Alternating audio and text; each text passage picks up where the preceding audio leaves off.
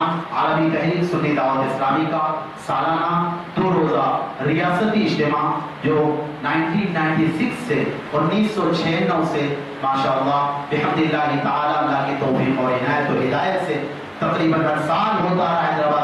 کی پر حضور خطیب الاسلام تاج العلماء، حضرت اللہ حسین فاروقی علیہ رحمت و رضوان، والد گرامی قدس سر العزیز کی سرپرستی میں اجتماع کا آغاز ہوا۔